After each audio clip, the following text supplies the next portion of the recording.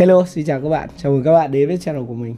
À, trong video này mình sẽ hướng dẫn các bạn làm nào để thêm cái ảnh đại diện à, kiểu đại ảnh đại diện cho video short nhé, YouTube short ấy.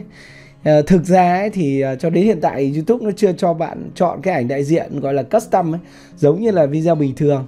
Tuy nhiên là nếu như mà bạn làm short ấy thì các bạn có một số mẹo để khi mà các bạn edit ấy thì các bạn có thể chèn kiểu chèn vào cái ảnh đại diện vào. Tại vì khi mà up YouTube Short lên thì nó sẽ cho mình chọn là một trong ba cái ảnh tự động. Thì à, trong ba cái ảnh tự động đấy, nếu như mà bạn muốn hiển thị cái thông tin gì ở trên cái ảnh mô tả của bạn ấy, tức là cái ảnh đại diện ấy, thì à, bạn có thể đặt nó suốt chiều dài của video. Đó là phải dùng cái, gọi là cái video editor. Nói chung là hơi ảo. Cái shot này rất là ảo ở chỗ là có cái video thì mình làm thì rất là nhiều view. Này, rất là lắm view còn có những video thì chả có view gì cả. Không hiểu. Không hiểu kiểu gì. À, nói chung là chưa lắm được quy luật của nó. À, ok ví dụ ở đây nhá. Ví dụ ở đây bạn các bạn nhìn thấy ví dụ cái video này chẳng hạn này à, video này video mới nhất này có cái ảnh đại diện là cái camera kèm theo mấy cái chữ ở trên ấy. Thì à, đây hoặc là cái này camera kèm theo chữ. Thì cái nguyên tắc là cái ảnh đại diện của YouTube Short là bây giờ nó chưa cho bạn chọn nhé bạn đừng nghe mấy người ta cứ bảo là bạn chọn cái ảnh này ảnh kia nó chả hiển thị đâu. À, nói chung là không hiển thị. Đây ví dụ cái ảnh này chẳng hạn. How to add watermark mình kích vào đây cho các bạn xem nhé à, đây. Đấy đây là video của mình nhé kèm các thứ này. Nếu mà mình thêm các cái ảnh rồi mà nó cũng không hiển thị gì cả. Ví dụ bạn có thể search ở đây nhé. À, short này. How to add watermark. À, Jackie Nguyễn chẳng hạn nhé. Để cho bạn xem là cái ảnh đại diện này nó như thế nào. Đây. Đấy bạn nhìn đây. Này đây là cái ảnh đại diện của cái YouTube Short này của mình nhé.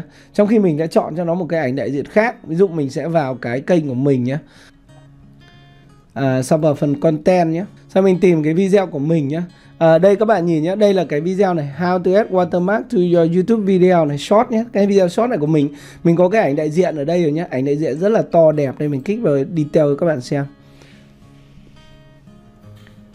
Ờ, đây bên dưới này, này, đây cái ảnh đại diện này, ảnh đại diện này mình chọn nhé. Nhưng mà nó thì nó lại chọn cho mình cái ảnh này. Đó, tức là cái ảnh tự động này nhé.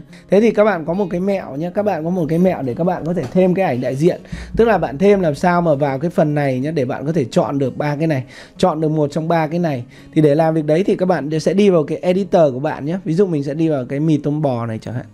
À, một cái video short của mình nhé, trong Filmora nhé. Bạn có thể dùng các cái phần mềm edit khác để bạn làm tương tự thôi.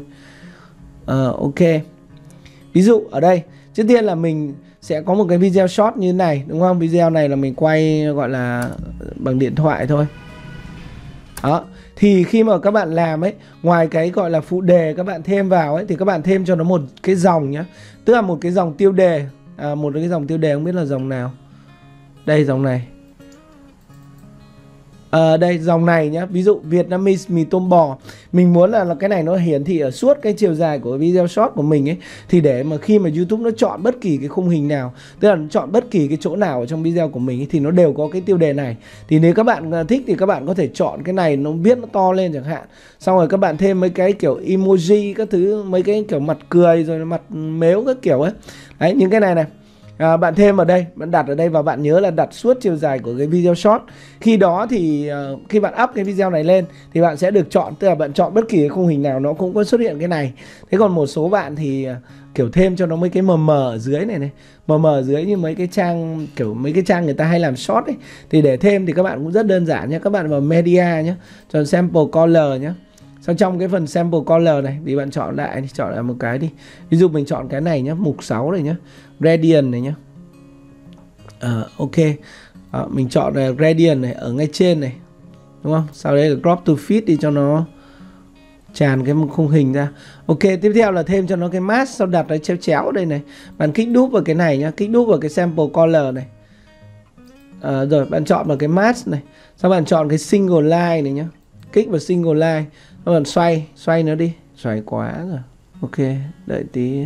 Cầm này xoay à. xoay nó chéo chéo rồi ok. Và xoay này được sau bạn kéo nó thấp xuống đây? Đó. Bạn đặt ở dưới này, sau đó bạn giảm cái blur strength đi. Đây, cái phần blur strength này. Đó kiểu trông cho nó mờ mờ ấy ở bên dưới. Sau bạn có thể thêm cái gọi là tên kênh của bạn các thứ vào chẳng hạn. Ví dụ mình sẽ thêm cái tên kênh của mình vào nhé intro này ví dụ mình thêm cái ảnh này vào chẳng hạn. Mình đặt cái ảnh lên đây. Đó rồi sau đó mình thu thu nhỏ cái ảnh này lại. Thu, thu nhỏ cái ảnh kênh của mình lại. Mình đặt ở dưới này ở góc này thôi. Ok đó, đặt ở chỗ góc này. Mình có thể thêm cho mask thêm mask cho cái ảnh của mình cũng được. Thêm cho nó hình tròn hoặc hình trái tim ấy, hình tròn đi. Ok chọn hình tròn sau mình chỉnh cái mask cho nó to ra. À, và bạn nhớ chỉnh cái blur strength nhé.